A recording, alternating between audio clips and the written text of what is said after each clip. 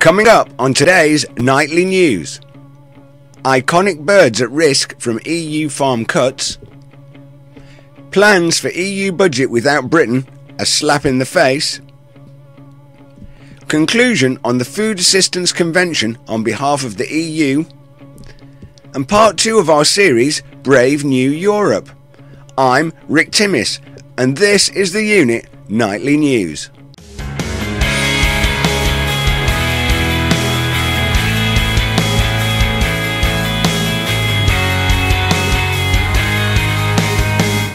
Iconic birds at risk from EU farm cuts.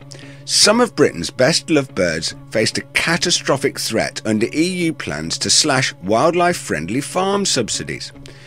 With Brussels seeking to impose swinging cuts on vital countryside schemes that help farmers provide a lifeline for birds such as the linnet, skylark, and turtle dove, their future looks increasingly bleak. EU President Herman Van Rompuy wants a 10% cut in environmental subsidies. Plans for EU budget without Britain, a slap in the face? Possible plans for a long term European budget without Britain have been branded a slap in the face by UK MEPs. In a move that will be seen as increasing British isolationism in the EU, an alternative budget is reportedly being considered in Brussels ahead of this week's Crunch summit of EU leaders and heads of state. Now, we reported on this topic three times last week, and in each case, mainstream media took the hardline stance that the UK wasn't playing. Now, Brussels MEPs want to play with themselves, and our press says it's a slap in the face. Typical sleight of hand reporting by the press. Conclusion of the Food Assistance Convention. This report by Nirj Deva was written for and adopted by the Committee on Development. The report states that food insecurity is a global issue which, despite much effort, remains an ongoing issue.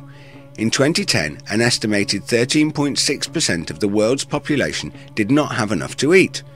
Despite decreases in income poverty in several regions, malnutrition is still an underlying cause of more than a third of child deaths, estimated at 2.6 million a year, and can often leave survivors with stunted growth and diminished cognitive development. The number of people affected by natural disasters is also on the rise. The European Parliament is of the opinion that the FAC 2012 will allow the EU to ensure that the most effective and efficient food assistance policy is put in place that responds to the food and nutritional needs of the most vulnerable populations. The Food Assistance Convention. I love it. this reminds me of Oliver Twist. Here are EU parliamentarians, aka Mr. Bumble, gorging themselves whilst discussing to whom they might provide more gruel? On Brave New Europe. Welcome back to part two of this seven part series The European Union Project.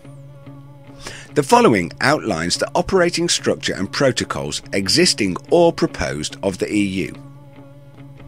The EU, called the European Economic Community was initiated by a Frenchman called Jean Monnet. Based on a concept that started in the 1920s, Monnet was considered to be the father of the European Union. His counsel, now concerning how the EU should be achieved, can best be summed up by simply quoting him. In 1943, Monnet stated that after the war, there will be no peace in Europe if the states are reconstructed on the basis of national sovereignty. In 1952, Monnet stated in a speech at the UN the nations of Europe should be guided towards a supranational state without their people understanding what is happening. This can be achieved by successive steps, each disguised as having an economic purpose, but which will eventually and irreversibly lead to a federation. This is what is known as the salami technique. That is, where the EU systematically removes thin slices so that each missing slice is unnoticed by the public at the time until they have acquired the lot. There were two other main original architects. Paul-Henri Spaak, who advised Jean Monnet that the only way to achieve the goal of a politically integrated Europe is to pretend that it was to be only a common market. And Altiero Spinelli, who advocated that the aim should be to stealthily assemble the components of a supranational government and only to declare its true purpose at the end of the process by unveiling a constitution. So, what is the European Union project and its agenda? The main aim of the project is to eliminate the desires of European sovereign states to compete with each other for control of Europe, which has resulted in two world wars and the dividing of Europe into two opposite political spheres from 1945 onwards. To this end, the European Union will replace the separate sovereign states of Europe with a single European state and to supersede any existing notion of personal loyalty to country and heritage. That will result in the people of England not being called English. You will be called a European.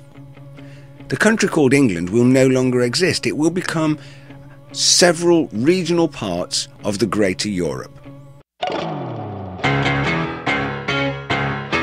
Well, uh, that's all from me at the EUnit Nightly News. You can get lots more news and stories and information on our website, www.theunit.com. You can get in touch with us there, and we particularly welcome your letters and points of view. You can follow us on Twitter. Our uh, Twitter username is the E Unit, and remember to subscribe to our YouTube channel for all of our regular updates. Finally, of course, you can join me and the rest of the team for interactive discussion and debate on Google Plus anytime. Rick Timmis for the EUnit Nightly News. I'll see you soon.